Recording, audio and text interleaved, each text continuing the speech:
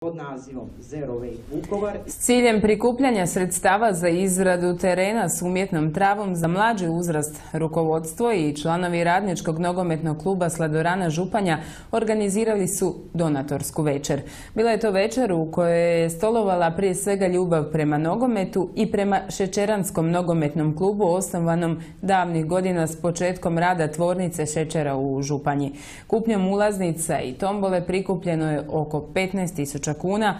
Za dva do tri tjedna kreće se u postavljanje umjetne trave, odnosno izradu terena.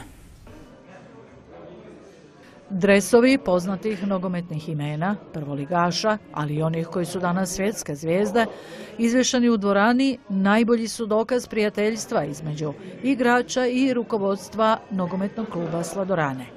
60 dresova dobili su kao donaciju za ovu posebnu večer u kojoj je cilj bio samo jedan, prikupiti što više novca za izradu terena s umjetnom travom.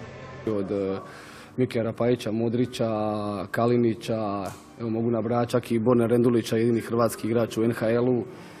Klubovi kao što su Lokomotiva, Cibona, Hajduk, Dinamo, Dresovi su danas u rukama posjetitelja ove donatorske večeri i vjerujemo lijep podsjetnik na nju budući da su bili dio bogate tombole. Ne mogu da, da se ne zahvalim izravno Slodorani koja nam je, ajmo reći, glavni sponzor čije ime i nosim ponosno u, u, u imenu. Ja se nadam da će do, do kraja sedmog mjeseca tereni biti gotovi i da će konačno naši mlađi uzrasti dobiti terene kakve zaslužuju. U posao se kreće za dva do tri tjedna. O tome koliko se radi u ovome klubu i koliko odricanja najbolji su pokazatelji rezultati. Prvo mjesto u drugoj županijskoj ligi osigurali su, kako vole reći, uvjerljivo. To im je dodatni podstrek za ulazak u veći rang natjecanja. Za sad imamo 13 pobjeda, jedno ovaj, neodlučeno i bez poraza smo uvjerljivo najbolji. I nije samo prva postava odlična i juniori, ali i pioniri.